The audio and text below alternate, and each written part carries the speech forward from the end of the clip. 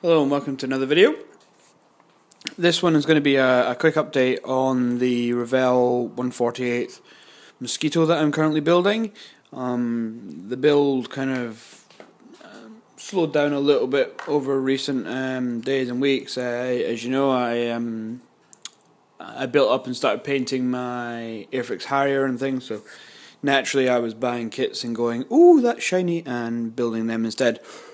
Um, last night I went back to this, or the last couple of nights. So since last update, what's happened is I have um, finished the the engine nacelles here um, and have buttoned those up. So that's half of those, um, and the kind of any gaps been filled and, and things. Oops, just watch that. Um, I don't know if you can see it too well in this light, but I've, had, I've got one engine exposed, so the panel will be lying on the ground, so that's been painted up. Um, I may do another little bit of work on that later, but uh, for now it's got some paint on it. It's mainly just black, so.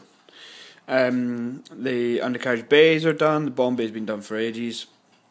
The undercarriage struts have been painted silver and had a black wash, so they look kind of suitably oily and greasy now, which is quite good. Um, I drilled through them. I don't know if you can see that. Yeah, you should be able to see there. I drilled through them, so the wheels will be held on by bits of wire, meaning they can turn. Because the little studs almost that um, that, that were provided in, uh, on the insides of those to hold the wheels just didn't look particularly secure. So. Uh, so what else? So that's been done. So these are um, the exhaust covers are on. There's a small gap here which I might have to fill. And just there. Uh, nose cone's on and been masked. Um, the canopy's on and has been masked with um, liquid mask. Uh, there were so many panels on that that I wasn't wasting my time uh, stretching out Tamiya tape, so hopefully this will do. The um, aerial mast is on. There's still some aerials to go on the end of the wings there. Um, so I'll do them, or I might put them on last just because they're quite fragile.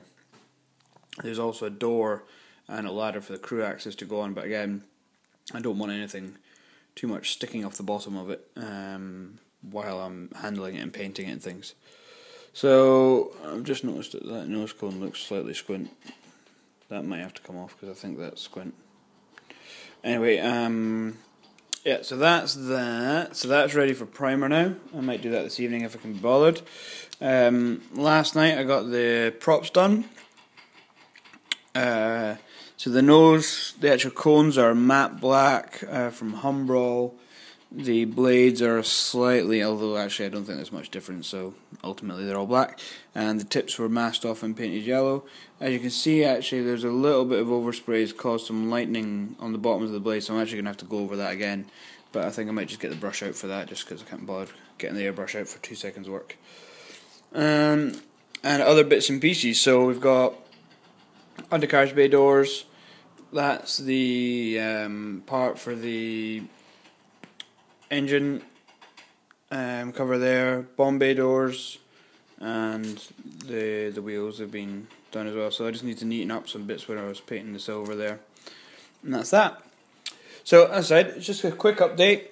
That's where I am with that. Um, no other models have progressed since since the Harrier. It's got a gloss coat on it now, so it's waiting for an oil wash. But I need to pick up some black oil paint because I've only got um, a brown umber oil paint, um, which uh, I don't really think will suit very well. So when I've got that, I can get the panel wash and stuff done on that, um, painting some details and get the get the, the the transfers and decals and stuff put on on that. Although being a modern fighter jet, it's going to have stupid amounts of stencils. Anyway, that'll do for this. Thank you for watching. Um, I'm almost at 100 subscribers. I noticed, which is really cool. So I've got I've got 99. Um, I toyed with the idea of doing something, you know, to celebrate 100 subscribers, but chances are I won't think of anything or I won't have the time, and therefore nothing will happen. But yay me! So until the next one, which will be hopefully another update on either this or, or something else.